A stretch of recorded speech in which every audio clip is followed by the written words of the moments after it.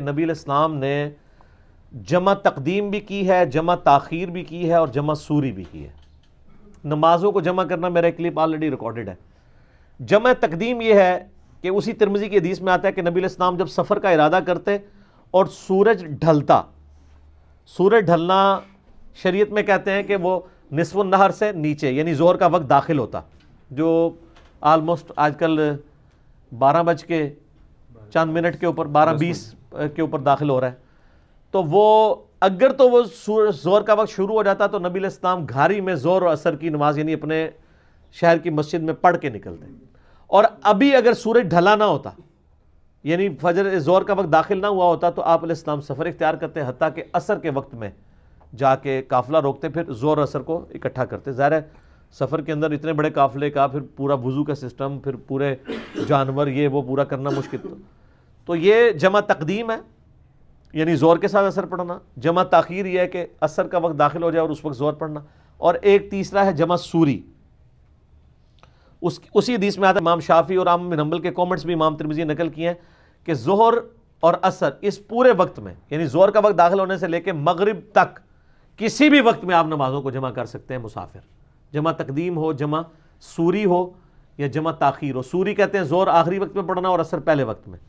یہ سر آج تو حساب رکھا جا سکتا ہے، نبی علیہ السلام کے زمانے میں تو نہیں ہو سکتا تھا کہ جی سر تین بج کے پچپن منٹ پہ جناب اثر شروع ہو رہی ہے۔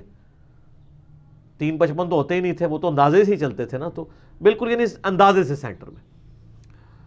تو جمع تقدیم، تاخیر اور سوری تینوں سنت ہے باقی وہ جو مسلم شریف میں اوپر تلے دس احادیث ہیں، سکسٹین تھرٹی تھری سے آن ورڈ اس میں تو عبداللہ بن عباس واضح کہتے ہیں کہ نبی علیہ السلام نے بغیر خوف کے، بغیر بارش کے مدینہ شریف میں یعنی سفر کے بھی بغیر۔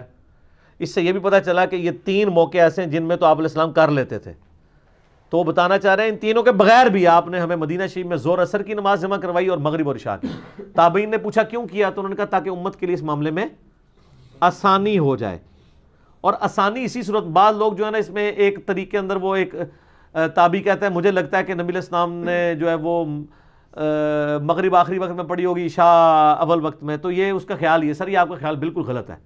کیونکہ یہ تو بہت بڑی مشکل ہے کہ ایک بندہ گھر سے مغرب پڑھنے گیا آپ اس کو بٹھا لیں ایک گھنٹے کے لیے۔ کہ سر، ایک گھنٹہ تو پینتی منٹ بعد عشاء وقت شروع ہوئے گا تو ایک گھنٹہ تری منٹ بعد تو میں مغرب پڑھاواں گا۔ یہ آسانی ہے۔ آپ بھی اپنی عقل استعمال کریں نا۔ زور اثر کو جمع کرنے میں یا تو کوئی حدیث پیش کریں کہ نبی علیہ السلام یہ فرماتے ہوں کہ آج کی زور میں اناؤنسمنٹ کرو۔ کہ زور کی زان سن کے کوئی مسجد میں نہ آئے۔ حتیٰ کہ ڈیڑھ گھنٹہ گزر جائے یا دو گھنٹے اور اثر کا وقت داخل ہونے والا ہو، تو دس منٹ پہلے آ جاؤ، تو میں آپ کو امت کی ثانی کی خاطر جمع کروا دوں گا۔ تو وہ ثانی یہی ہے کہ زور کی زان ہوئی ہے۔ لوگ پہنچے ہیں آپ نے ساتھ زور اثر کٹھی پڑھا دیے تاکہ امت کے لیے مشقت نہ ہو جائے۔ یہ جواز ہے۔ شیعہ نے اس کی روٹین بنائی ہو تو شیعہ کی اپنی فک کی کتابوں میں لکھا ہوا ہے کہ یہ روٹین بنانا بہتر نہیں ہے۔ جواد نقوی صاحب ہم گئے تھے تو انہوں نے بھی لادہ پڑھی ہے۔ وہ تو قائل ہے ان کا تو کلپ موجود ہے۔ پاکستان کے دینی مسالک ایک کتاب ہے۔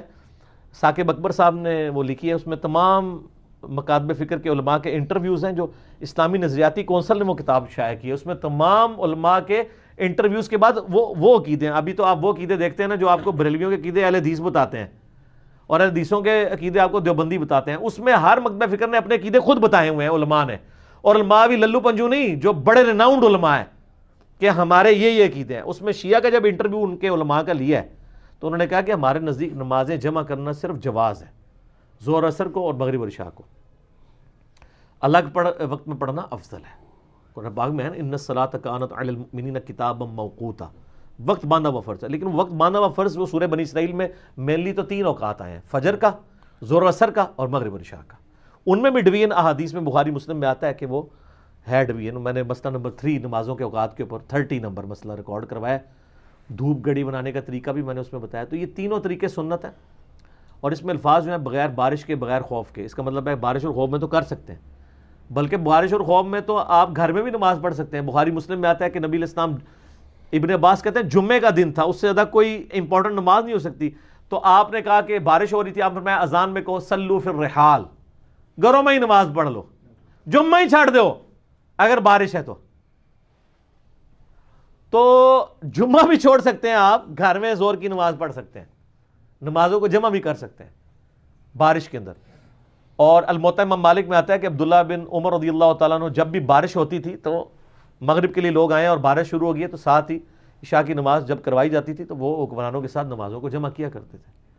تو یہ نمازیں جمع کرنا بغیر وجہ کے بھی جائز ہے اور بعض لوگوں نے اس میں غلوف کیا ہے۔ جس میں شیخ زبیلی زئی صاحب بھی صاحب شامل ہیں، ان سے جب میں نے اس کے اوپر ڈسکشن کی تو وہ کہتے ہیں جی اس میں تو لکھا ہے بغیر خوف کے، بغیر بارش کے، اور مدینہ شریف میں یعنی بغیر سفر کے۔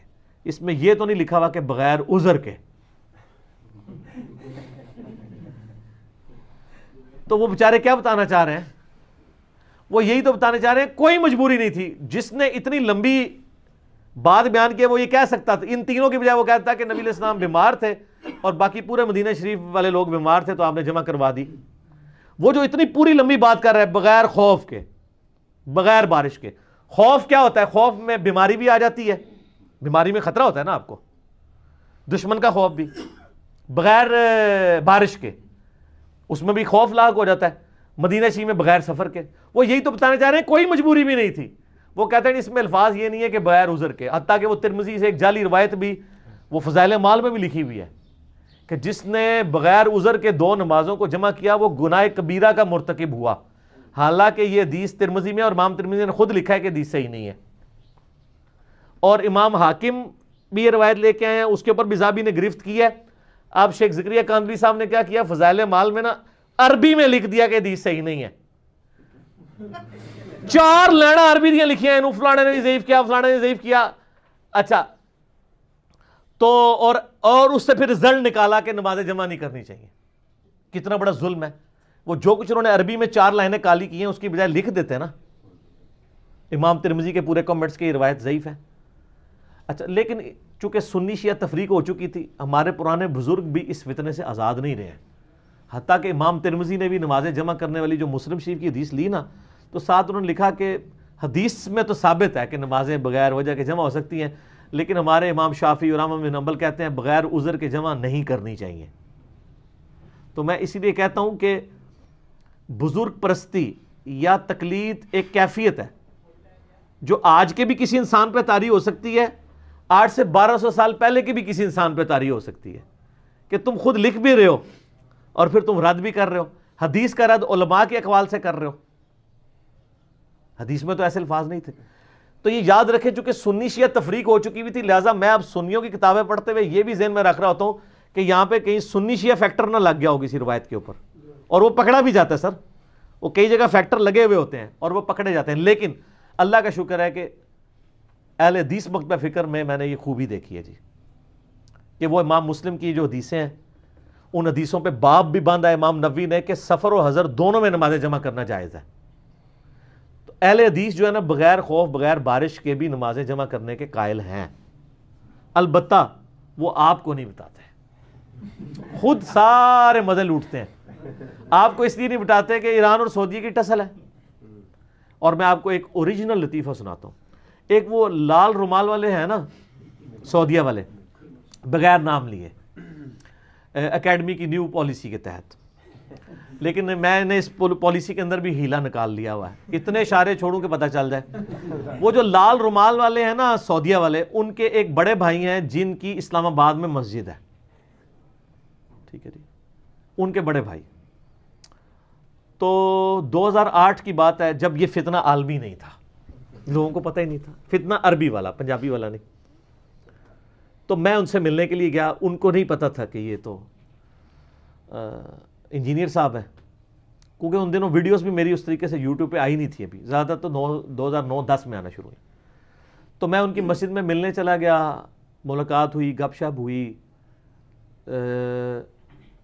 جب مغرب مغرب کی نماز میں نے پڑھی۔ تو میں نے ان سے کہا جی میں نے ایک آپ سے مسئلہ پوچھنا ہے۔ میں ابھی نیا نیا ہی اسٹڈی کر رہا ہوں۔ اس وقت میں نیا نیا حدیث کے ذرا قریب ہوا تھا۔ تو میں نے کہا، مجھے یہ بتائیں کہ یہ نمازیں بغیر خوف، بغیر بارش کے، سفر کے بھی بغیر جمع ہو سکتی کہتا نہیں جی حرام ہے یہ تو۔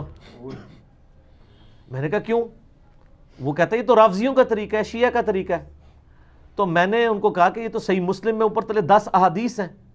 اور امام نبوی نے باپ باندھا ہے کہ سفر اور حضر دونوں میں نمازیں جمع ہو سکتی ہیں۔ تو ہم اہل حدیث ہونے کا یعنی اس وقت ہم بھی تھے نا، یہ اس زمانے کی بات نہیں ہے کہ کہ جب یہ ہم جھوم کے کہا کرتے تھے کہ نہ میں وابی نہ میں بابی، میں ہوں مسلم علمی کتابی۔ تو علمی کتابی انہی لوگوں نے ہمیں بنایا نا۔ تو میں نے کہا جی ہم اہل حدیث ہیں تو اہل حدیث کا تو مطلب ہے حدیث کو دیکھے گا۔ تو وہ کہتے ہیں نہیں، وہ کرتے ہیں تو وہ کوئی نہ کوئی وجہ ضرور ہونی چاہیے۔ تو میں نے کہا یہ تو بڑی عجیب بات ہے، آپ لوگ مطلب حدیث پہ بھی چلتے ہیں اور پھر جب میں نے مسلم شریف تھوڑا ان کو امفسائز کیا نا، تو انہوں نے ادھر ادھر دیکھا کوئی سون تو نہیں رہا۔